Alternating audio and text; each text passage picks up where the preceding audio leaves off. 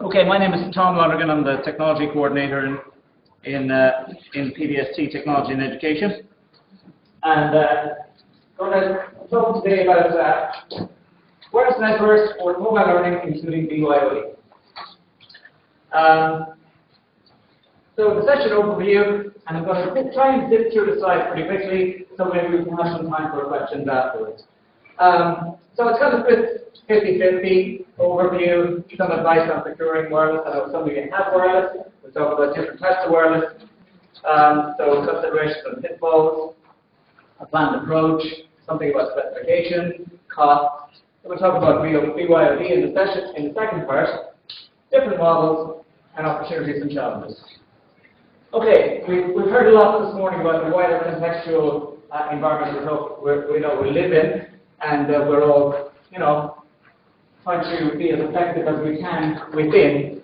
So I'm not really going to talk too much about it, but some of the words that were mentioned earlier on are on that slide. So our changes in understanding of learning, the model we use, pedagogy, knowledge construction.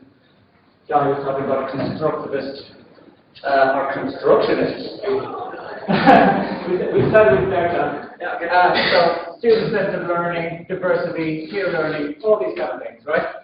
Uh, motivation, uh, that, that, that, you know, I think these are the things that, you know, the CESI community, uh, you know, have really pushed the boundaries on. So I suppose the bottom line is, how can technology support, transform the learning model? How can they support it? How can they enhance it? How can they make it easier to, uh, to implement? And I suppose teaching and learning is at the core of any strategic approach.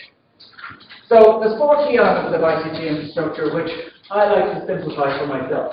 And those would be, out there we've got these clouds, right? So we saw some nice pictures of clouds this morning. This was one that I liked because there's so much up there. There's so much diversity up there. There's so many symbols that kind of uh, epitomize uh, or symbolize uh, the services, the apps, the kind of things we like to do in the cloud. So there's a whole mishmash of stuff up there. I'm involved with schools broadband as well uh, with the with the two departments and with HEANet, the school broadband service desk reports to me. I I guess I work with them every day. So 50% of my time is involved in connecting schools, or maybe 40%. And the rest with regard to the rest of technology. So that broadband connection is critical. At post-primary, we're getting 100 megs to, uh, to post-primary 100 megabits per second. We've got about 550 schools connected. We're going to be connecting the rest of the post-primaries uh, this year. And, and, we are looking at faster broadband for, for primary schools as well, including up to 100 megabits. Uh, so, and then the other two, two areas are the wireless network and the network in the school.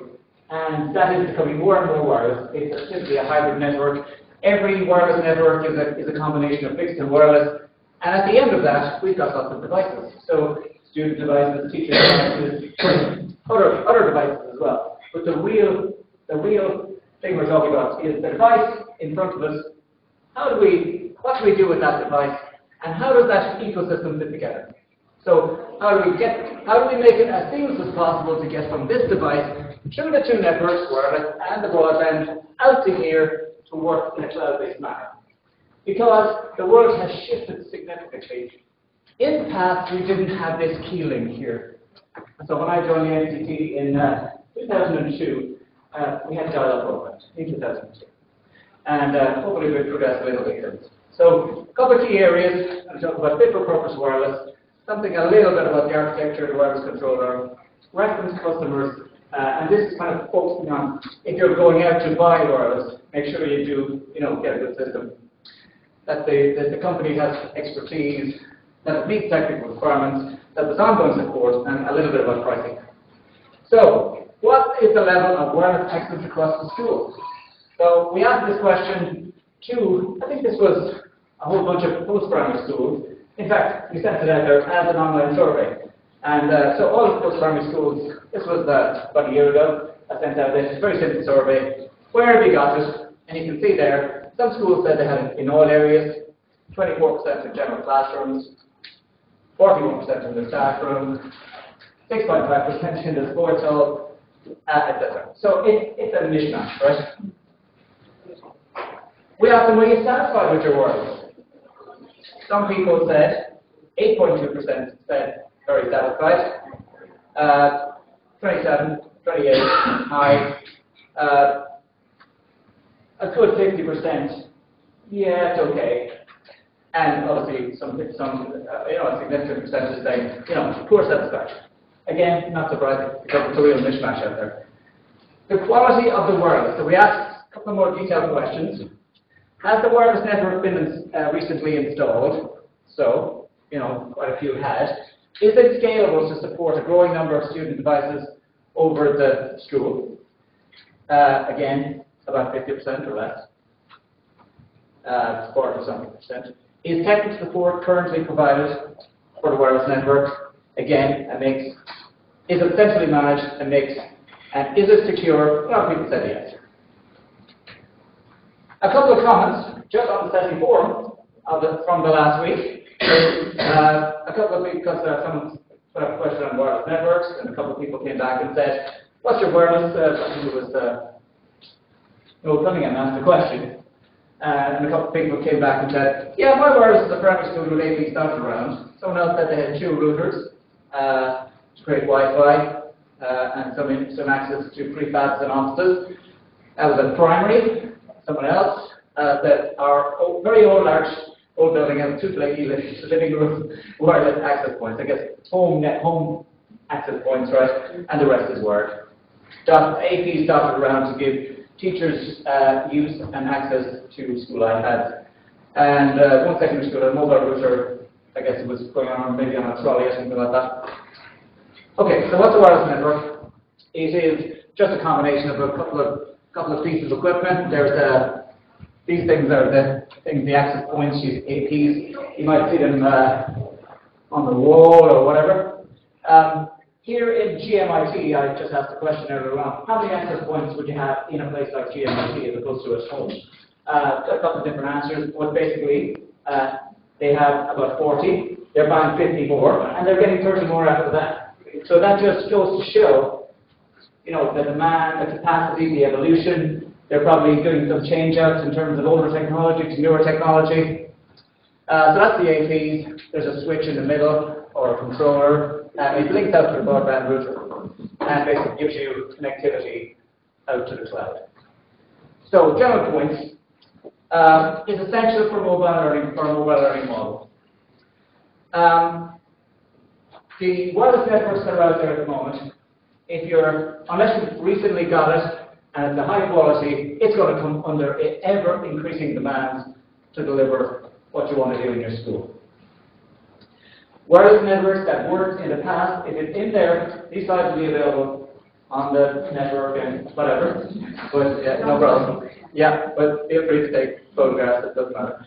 Um, uh, but they're no, the older ones are no longer able to right? They're struggling. There's talked to some people there that having some issues with a wireless network, and maybe I think that's typical, you know, in, in any school.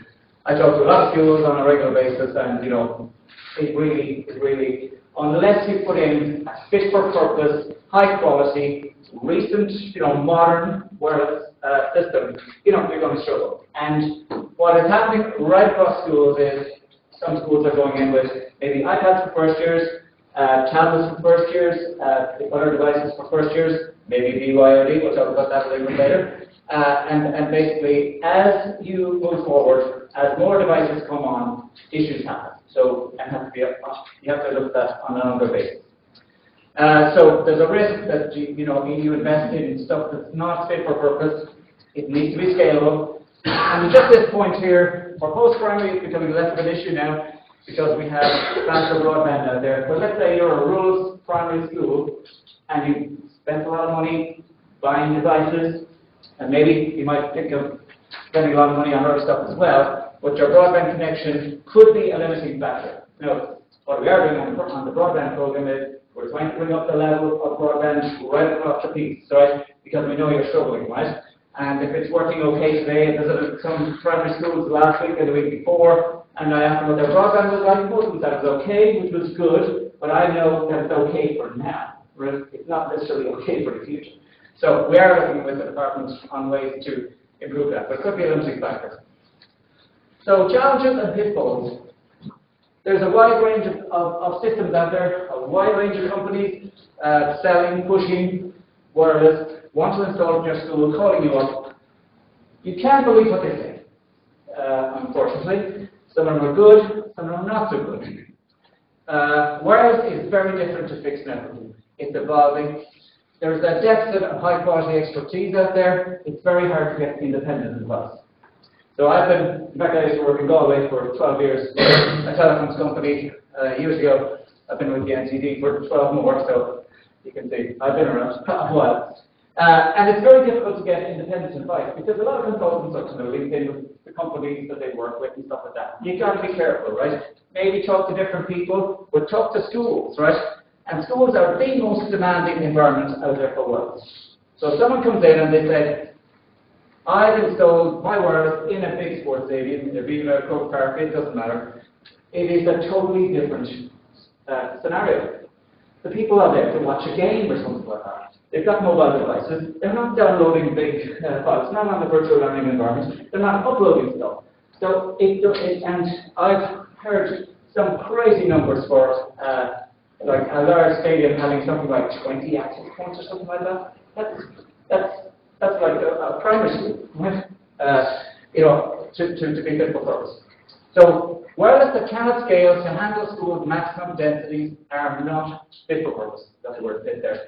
Uh, and they need to be, and you may need to replace them as your demands grow. Right? That is a concern. Uh, if you if you need more advice on this, whatever, give me a shout. Every school is different. So every school layout, this is just one of a pretty new school. It's a big school. Uh, so, and they, and, you know, uh, in terms of planning, in terms of coverage, in terms of priorities, you know, a big school, uh, thinking about, you know, how much would it cost to put, uh, you know, this is a thousand pupil school.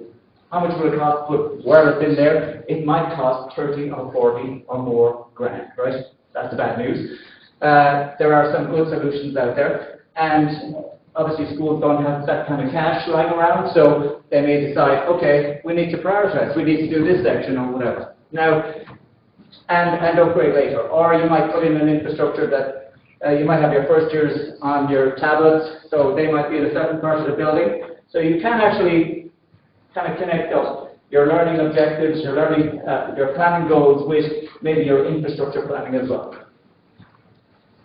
Uh, basically, I suppose I'm saying here, don't be impressed by someone coming in with a fancy, fancy tools and gadgets and saying, look, I can model your school, I can do it all on the computer, I can simulate the whole thing. You can download these stuff, this stuff off the internet. Um, and there, are, you know, uh, so don't be impressed. Cabling is, is actually going to be a big cost of the, the wireless part. So what uh, typically all the wireless companies do is they plug their access points into your existing cabling infrastructure. That saves them the cost of putting in new cables and stuff like that. So they all do that. Generally, Cat5 is, is fine for this kind of stuff. It may need to be upgraded later. If you're putting in a new network, it, needs to be Cat6. But cabling is expensive. Okay, there's lots of wireless standards out there. These are some of the old ones. Uh, 802.11a, B, C, D. And I know this, this is not a technical presentation. This is basically just saying Yes, there are lots of standards. Some older devices meet this, this standard here. These are the more newer specs here. This has been around for quite a while. Uh, and now what's happening is companies are coming out with this new spec, right? So as the specs get get uh, get get uh, the newer specs, the, the quality of the world gets better, the the, the, the, data throughput gets better. So um, one thing, I've, I've written a document for schools which basically says this is advice for schools and this is how you procure it, right? So this may sound like a lot of stuff, but it's kind of captured in a model where you write your document, you, write, you, you take the document, you, you just add, add in your own kind of uh, uh, specifics with regard to your school, you know what size your school is, how many classrooms, that kind of stuff. You put it out to tender, the company says, yes, we meet all this stuff, because they've got to meet all this stuff. And then you, uh, you, you, you know, you, you, you, you, basically decide which one you want. So this is kind of the process. So first of all, you think about what you want to do, maybe link it into the e-learning handbook, uh, review the document, develop a plan, consult with stakeholders, uh, seek advice from other schools. So there's an increasing number of schools out there now who have gone out and gone through this process, and there's nothing better than talking to another school who's done this. Similar type school, you know, what are the pitfalls, what are the challenges, what are the things to look out for, what companies gave good support, that peer network of your colleagues, of your, your fellow schools. Um, if they've had a good experience, you know, the likelihood is you'll have a good experience as well. And don't go with someone who is, I, I get schools who call me and they say, I've got this lovely guy, he's an ex-pupil, and he's working for this company. Now, he may be a lovely guy, right? And he may have your best hand, uh, you know, your best interest at heart, but he may not be the right person. He may be the right person, but he may not be. So don't let sentimentality or something get in the way of, of, of making a, a, a, you know, a decision which might, might not be the most optimal for your school. Um, develop the, you know, use the, our template, go out to a minimum of four to five companies. You need to do that because you will get, you will get different deals and there are some companies who will give you more cost-effective, better support, all that kind of stuff. Uh, award a contract, and then it's then at that stage you, you install it, and then you know there's lots of other uh, things, issues about supporting it. So what the wireless networks do? When they're installed, they installed properly, you literally almost can forget in five minutes. Five minutes. Okay. Okay. Uh, they need to support high density. Seamless roaming has to happen between the access points, and they need to be future-proof. I'm going to have to speed up there. They need to support a range of devices. They need to have a management interface. They need to monitor. They need to have outdoor access points. And uh, they need to make sure that they're secure. There's lots of specifications which are captured in the document, so you don't need to worry about it. The controller has to do a whole lot of things. So it's a central controller that manages all the access points. The company that puts it in, they have to coordinate the works. They have to test it. So there's no point in you know, just installing it. It's got to work. And you've got to have a process in place for that. Uh, it's got to have warranty. And reference customers are critical and essential. So, again, unless a company has reference customers, good reference customers, don't go with them. Why, why take the risk? Acceptance testing, it's got to work. There's lots of different, uh, number of different tests in the document. Training support, additional uh, etc., is very important. There are different pricing models. School purchases its own equipment. They can purchase TAPs, while the controller could be remotely based. Uh, school pays for a managed service only. Beware of hidden costs. Uh, there could be ongoing yearly license costs. Be very careful about the, you know, the small print and stuff like that. And one thing, we, there may be a framework for, for, for, for wireless for schools, but we don't have a specific plan for that yet. So in summary, fit for purpose, uh, reference customers, demonstrate wireless capability, must meet technical requirements, high support, and pricing flexibility.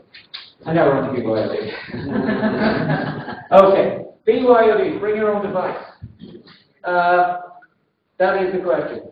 Uh, so if you read the Horizon 2013 report, a lot of stuff in there saying BYOD is one of the key technologies in the current year. What does BYOD look like? This is not a heavy school bag, I hope. Uh, uh, these are two enthusiastic uh, uh youngsters who think BYOD might, might be the future. Uh, hopefully it's going to be a little bit smaller in the pocket. um, so what is BYOD? Bring your own device. Some people call it bring your own distraction. Be careful. Uh, so people, students bringing their own tablets, laptops, smartphones, or whatever, with, so within and outside the class. So linking the two. Um, why BYOD? Because tablets have new capabilities and attributes that other devices didn't have. They instant uh, on, battery life, ease of use, form factor, burst function, robustness, lower levels of tech support, and apps. Uh, lack of school funds. There is, there isn't school funds out there to, to get a, a device for every pupil. Now, first of all, you've got to, obviously, schools have got to think about, is that, do we want one-to-one? -one? Is that the model we want to go with? Uh, so BYOD can use fit-for-purpose learning devices that family, families already have, otherwise they remain home. Think of the amount of tablets that are sitting at home picking up. Changing practice is difficult. I appreciate, I appreciate the text, Kate, but next time just raise your hand. Change requires buy-in from all students, staff, and the school community. Question, are teachers really prepared for this? That's a question. I've got some more questions as well. There are some reality, uh, some obstacles. Uh, so there's a risk of inappropriate uh, use. I talked to some principals during the week. That was a big one for them. Uh, and additional classroom management challenges. It is already happening.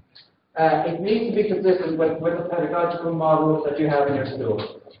Consult with your teachers, uh, and it may not be for, for every school at the moment. But, uh, and there are some tools out there to, once you've got it in place, there are some tools out there to help. They're called, there's devices called mobile device management tools, which help you to kind of, in theory, you kind of say, if we were all connected in here, I could say, press the button, all your cameras are off. Okay? Control. That may be a good thing, but it may be a bad thing. They're only tools, they, they're not going to solve your problem. They're not going to uh, make classroom management that, that easy. Uh, but they may help. Uh, to improve changes, uh, the chances of success, begin with a small amount, pilot it, make sure that the, your, your success, you're successful at small, at small levels. This is just a kind of a couple of things that uh, case study of an elementary school in, in Georgia. Um, big focus on responsible yet dynamic use of student-owned devices for learning. Um, it is happening in an increasing number of districts because of tight budget constraints, leading to higher and more innovative student achievement and serve individual uh, learning needs.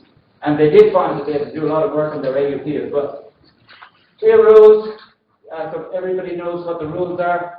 Systematic rollout, again a big focus on responsible use. Issues will occur. Expect uh, they're expected rather than a reason to abandon the project. And, and I think that's a key point. These studies as learning opportunities. Uh, yes, it's risky, but I think it's riskier for us not to do this and, and then have kids try to figure it out on their own. So it's a critical part of the, the, the, the integration of ICT in their model. There, now, very quickly, there are three there are a couple of, couple of models. One specific device, iPads, for, for, for everybody. Uh, Tom, I think we'll have to. Okay. Yeah. Um, you can you can you can spread it out to more devices, or you can have lots of different devices.